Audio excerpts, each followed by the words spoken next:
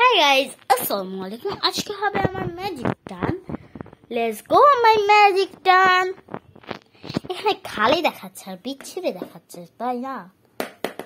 ওকে এটাকে আমি সরিয়ে ফেলি।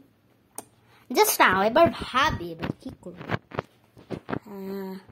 আইডিয়া পেয়েছি। তো চলো এবার করি আইডিয়া রেডি তাড়াতাড়ি কোন হাতে নেবার কোন হাতে নেব? Mama. One, two, three,